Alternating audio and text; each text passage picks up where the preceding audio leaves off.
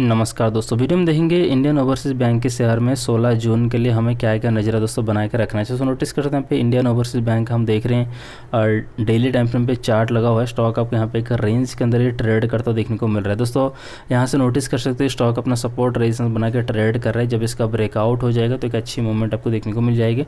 अभी के लिए इस रेंज की जो भी हाई है, जैसे कि twenty six point two five का हमने लगाया, ये रेजिस्टेंस लाइन रहेगा। सपोर्ट लाइन देखने को मिलेगा twenty three point five zero का नेक्स्ट सपोर्ट लाइन रहेगा यहाँ पे।